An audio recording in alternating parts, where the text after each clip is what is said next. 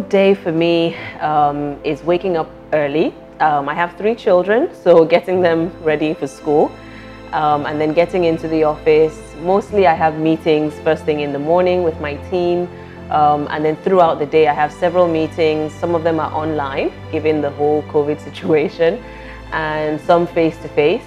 Um, I also walk around the bakery as well to inspect and to make sure that everything is fine. Um, and then I tend to leave work around 6 o'clock and head home to the family.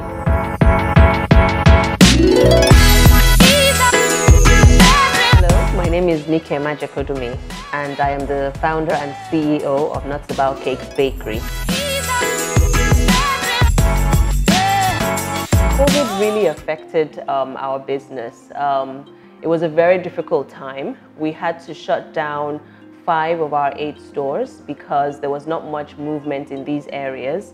Um, and then also the sourcing of raw materials. Um, luckily, we are considered an essential business, so we were allowed to stay open because we're a food business. Um, but sourcing for materials at this time was difficult because most of the markets were, were closed. Um, and then also, you know, we're very concerned about our staff's health and safety, about their movement. They weren't always able to get public transportation. So we really had to get quite creative during this period. One of the things that we did was we partnered with other bakeries and it was almost like forming a coalition with other bakeries so that we could um, buy in bulk directly from the manufacturers and that really helped us as well. Um, secondly, we housed about 70 of our staff in-house. We shut down our cafes, we shut down our training schools, and we housed and fed them for about a year just to keep them sort of, you know, in the same environment and working and safe from the virus.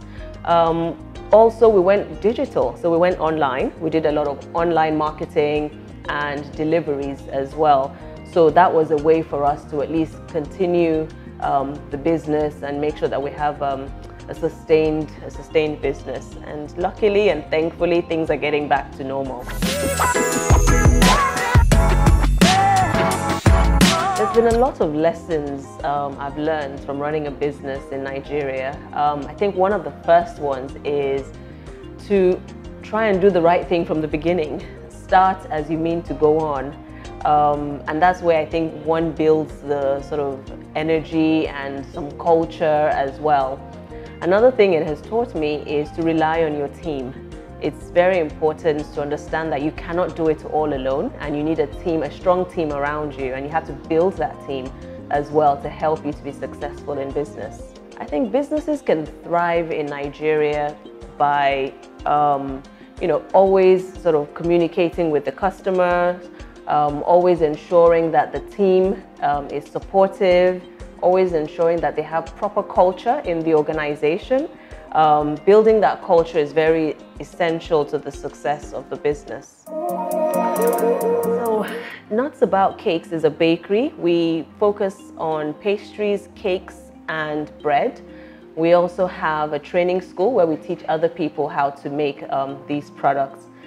I fell into the business by accident about 14 years ago. I was currently working and I was working in um, business management, sort of business advisory. And one day I went into the kitchen, found a recipe on the internet, and I made some cookies. And um, you know, I started giving out to people, and people liked the cookies. And one day somebody offered me some money to make their, them cookies for their friends, uh, for their kids. And that's how I made my first sale. And after tasting the sweet smell of success, no pun intended, I decided to, um, to set up a business. So we started off with um, doing a lot of things with nuts. That's why the name actually has nuts in it, but it actually denotes being crazy about cakes. So that's, yes. so our business operations um, are pretty simple, really. We have two production hubs, um, one on the island and one on the mainland, and they produce for our eight um, branches and then we distribute to the branches um, first thing in the morning, cakes, pastries and cakes. So the sector um, we play in is the baking um, industry and it has changed significantly over a number of years. I started baking about 14 years ago and then there was no Instagram. And now Instagram is such a huge part of our industry. Um, in the last, I would say, five or six years, we have a lot more people going into the industry and they're home bakers. So we have people who have baking as their side hustle. It's great for you know a lot of people to go to work and then they can come home and bake and you know develop and build a business that way.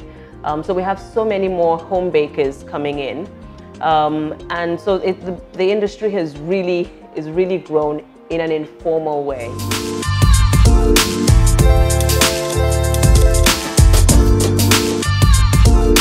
The, the challenges in this sector um, I spoke earlier about the home bakers. the challenges are the home bakers again. So, um, so for us, we are a highly regulated um, industry. Um, we, you know, we have to answer to the Ministry of Health, Ministry of Environment, to NAFDAC. Um, so it's, we're really regulated and we have to get our licenses and certificates and be assessed. But home bakers are not and they actually are adding up to be a large proportion of you know people in this industry, in the cake industry. Um, and they're not regulated and the health and safety standards might not be generally in place there. They don't have the same cost structure as I do. You know, we have to pay sort of pensions and group life insurance and health insurance and you know, certification and LASA and so all those other things which they don't have. And we all have to compete with the same, you know, for the same customers on the same platforms, for example, Instagram and Facebook. So those are some of the challenges. Um, our industry is trying to address that. Um, there's a newly formed National um, Association for Cake and Sugar Crafts Professionals, of which I'm also on the exco of that.